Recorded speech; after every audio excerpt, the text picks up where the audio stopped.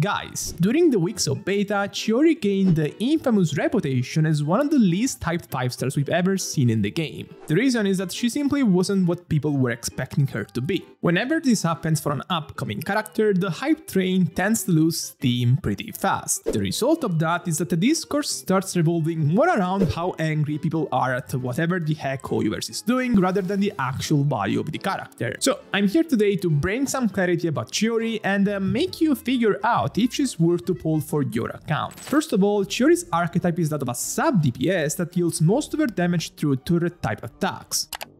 In a way, she's very similar to Yae Miko, in that uh, most of her kit revolves around the fact that she can deal a lot of off-field damage. This is actually a pretty rare type for Genshin, so a 5-star off-field DPS that only revolves around damage, because usually they also come with supporting capabilities. Characters like Yelan, Furina, Nahida, all 5-stars that come with pretty good off-field damage and also quite nice support. Heck, even Albedo, another Geo sub DPS, also comes with elemental mastery support. For many of these units, the support they provide is a big part of what makes them good. The reason is that they're often providing utility for a strong on-field damage dealers, and uh, that's where the main part of the team damage is coming from. Not only as a baseline, the main carry is the best part of the team when it comes to damage output, but also is the one character that people will most likely overinvest in to improve their team results. And in those scenarios, the buffs the off-field characters can provide become extra valuable. So at a glance, it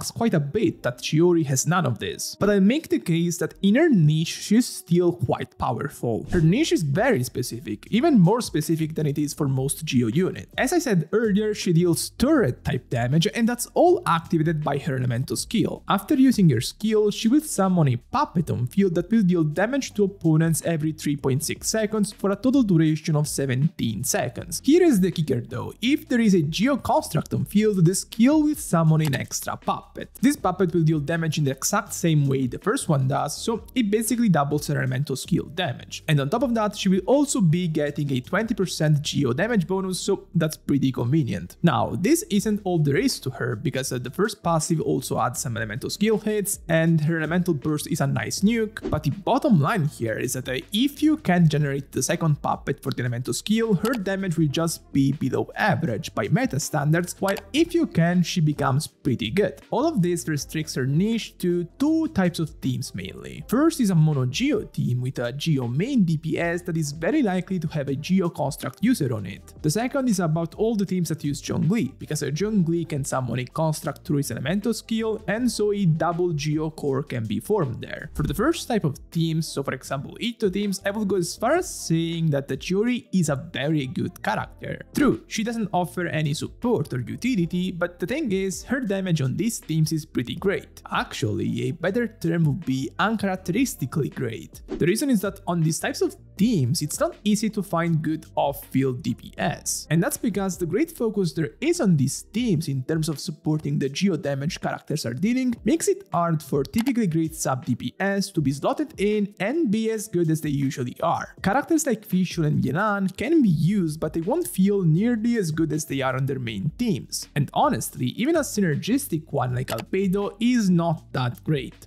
In comparison, Chiori just crushes them on these teams. She deals substantially more damage than Albedo, that was the previous best sub DPS for this type of teams. Additionally, she's also much more consistent in terms of damage, because uh, Albedo's flower can be destroyed by certain enemies, mostly bosses, while uh, the same can't apply to Chiori. This also makes her more consistent in terms of particle generation, which is great for a character like Itto. I know that Itto Mono Geo teams aren't the most popular nowadays, uh, mostly for good reasons, but the thing here is that the Chiori is providing an unprecedented damage increase for a sub DPS in terms of team damage increase. Again, this is mainly because she doesn't have great competition in the role, so her damage looks very big in comparison to the alternatives. But still, my hot take here is that she will improve the team enough that it will feel quite good in general. Like, uh, not a top meta team, but a pretty durable one with a nice damage on top. I want to clarify that she's not a clear Albedo replacement because they can still be used together on this team. Itto is a pretty durable character thanks to his defense, so you don't have to bring a defensive option like Zhongli, especially since Goro can heal a bit through the Constellation 4. So you can technically play Albedo and Chiori together and it can work. This also translates very well to other types of teams like uh, a Noelle teams. Noelle is a character that pretty much found greatness thanks to Furina because she can heal the whole team through normal and charge attacks and of course this synergizes very well with Furina Fanfare stacks generation. Commonly on these teams she's used with Goro in order to maximize the geo damage she's dealing. However, Chiori wouldn't be able to fit very well in a team with uh, a Noelle, Goro and Furina because there will be no construct. That's why the composition will be Noelle, Albedo, Chiori and Furina and truthfully it's looking pretty nice. Even when backed by Goro, Noelle isn't doing that much damage in terms of single target damage, so replacing Goro with Chiori that is a major sub DPS can be good for the team. Still, Noelle is first and foremost an AoE damage dealer and of course Goro buffs all of that. Since Chiori is mainly a single target damage dealer, I wouldn't be surprised if Goro performed better in a AoE situation. But yeah, for these types of teams, especially the Itto team, she can be a pretty strong pull. For the second type I talked to you about, so the double Geo core with Zhongli, she's usable I guess. While of course she's still much stronger than Albedo here, the competition in general is much bigger. It's honestly hard to tell which teams can benefit from double Geo cores to begin with because it's a pretty obsolete concept. Characters like Hu Tao and Xiao to mind since back in the day they used its double Geo teams quite a bit, but nowadays they found their homes in much more stable places. And while Chiori is a pretty nice buff for double Geo core, it doesn't make it an exciting alternative to me for all of these characters. So it's an option, just not a must pull one, I guess. So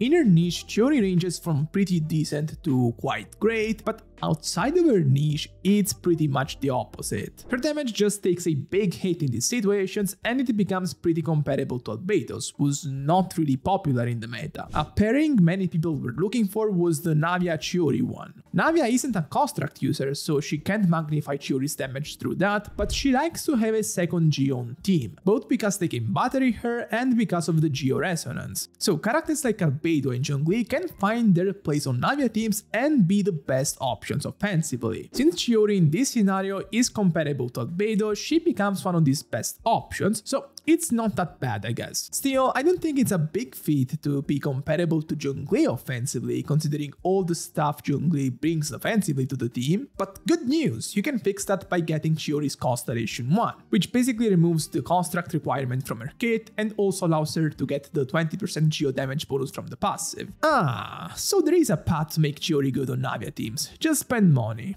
Hmm. Jokes aside, I talked about this constellation plenty and I think it's just scummy. It's just that to put a restriction like that in her base kit and then remove it completely to the constellation one, it's just kinda disgusting to me honestly. Navia is a recent character and many people were looking for this pairing between Chiori and Navia, so it's a clear money bait. Of course, it's your choice. If you want to get Chiori's constellation one, then she becomes a very good pattern for Navia, much better than the alternatives, but otherwise she's not worth the pull in my opinion, for this team. And that's it. I think I said everything. If you enjoyed this video, make sure to subscribe to this channel and also the new Wuthering Waves channel I made. Also, I made a Hyperbloom video analysis recently, so please go check that and uh, peace!